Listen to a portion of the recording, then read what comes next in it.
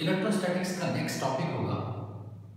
Force on a charge due to multiple charges force on a charge force on a charge due to multiple charges multiple charges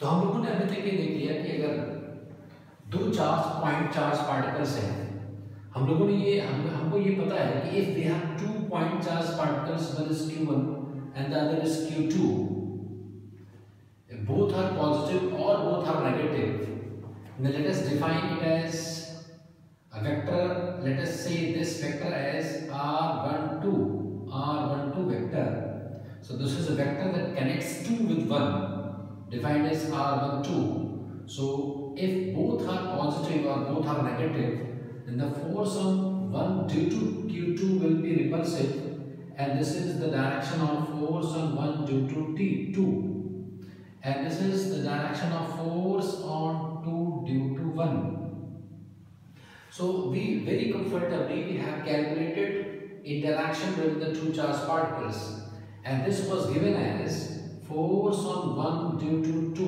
was given as 1 by 4 pi epsilon naught q1 q2 by r12 let us define it as r12 then obviously this vector is opposite to the vector so this is negative sign and mod q. This we have learned. This we have learned. This vector is defined like this. If we define another vector r21 that is defined as f21 that is simply minus of f12 so this we have studied in the previous video. Now suppose we have multiple charges. Suppose we have different charges. One is let us say q1 and the other is uh, q2 let us say this is q2 and this has uh, q3 let us say q3 and uh, we have to find let us say this as q4 so we have different point objects here different point charges.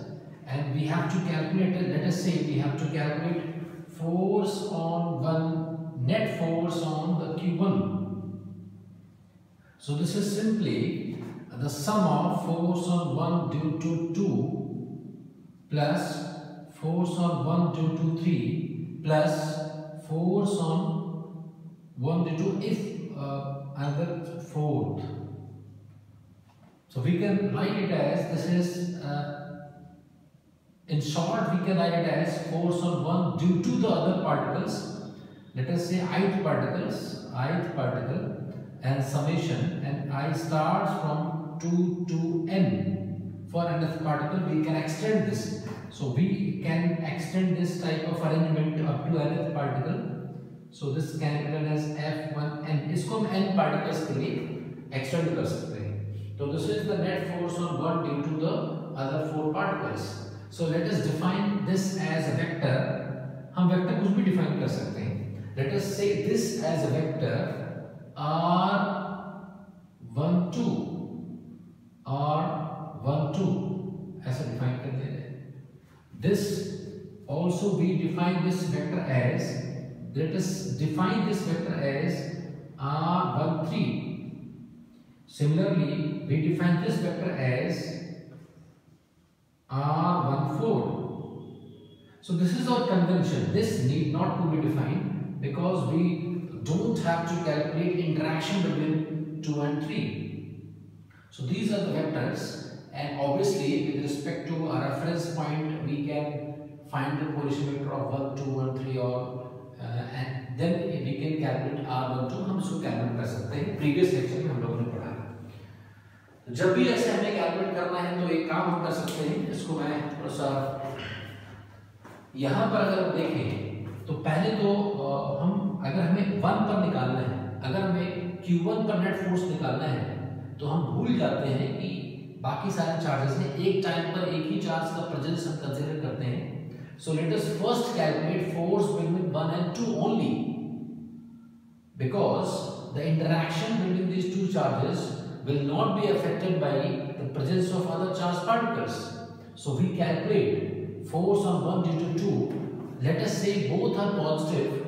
So the direction will be like this. This is force on 1 due to 2 vector. We can calculate its magnitude by calculating by using Coulomb's law. Now force on 1 due to 3 can be calculated like this.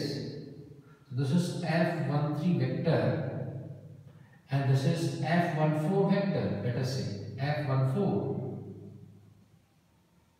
So now we have three vectors and the sum of these, these three vectors is equal to the net force on the first vector. So we can write it as so this we have to calculate. तो जब भी हमें different forces का vector sum निकालना होगा so we can write it as कि हमें क्या करना है कि बहुत आसान है इसमें, हम पहले इन दोनों फोर्सेस का वेक्टर सम कैलकुलेट कर लेंगे।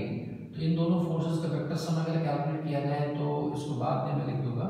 इन दोनों वेक्टर्स को पैरेललोग्राम इसके पैरेलल एक वेक्टर ऐसा बना दिया जाए। और ये ऐसा बना दिया जाए। तो इन दोनों वेक्टर्स का इसका और इसका रिजल्टेंट ये आ गया। ये इन दोनों वेक्टर्स का रिजल्टेंट इधर आ गया। This is the resultant of this f12 and f13 so now we have to add f, this resultant resultant vector and f14 so now this can be considered as, इसके parallel line draw करनी है। अब इस vector को और इस vector को add करना है। तो तीनों वेक्टर्स ऐड हो जाएँगे।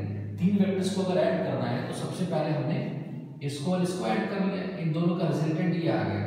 अब इसके रिजल्टेंट में मैं इसको ऐड करने जा रहा हूँ तो इसको मिलाकर के एक पैरेललोग्राम बनाना है। तो इसको पैरेलल एक लाइन ऐसे ड्रॉ कर दी जाए इसके पैरेलल एक लाइन ये ड्रॉ कर दी जाए और इसके पैरेलल एक लाइन ऐसे ड्रॉ कर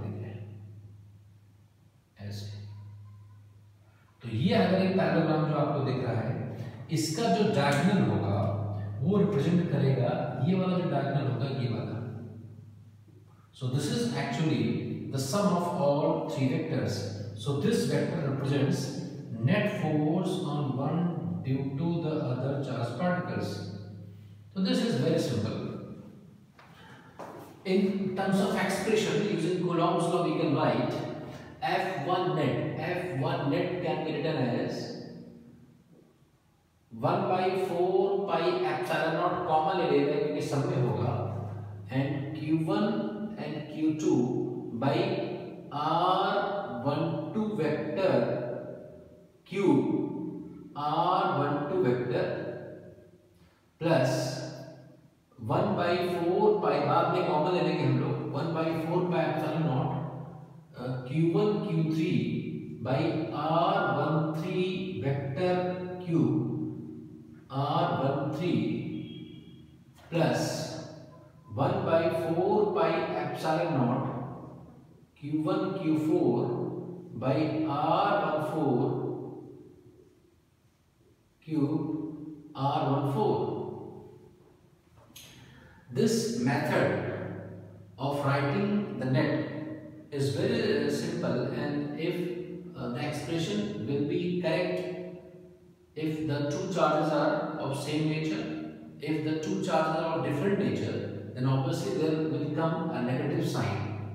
This we have considered only when the uh, all the charges are taken as positive or negative at a time so net force can be summarized as f1 net is written as this is equal to 1 by 4 pi epsilon naught and q1 can taken as com as common.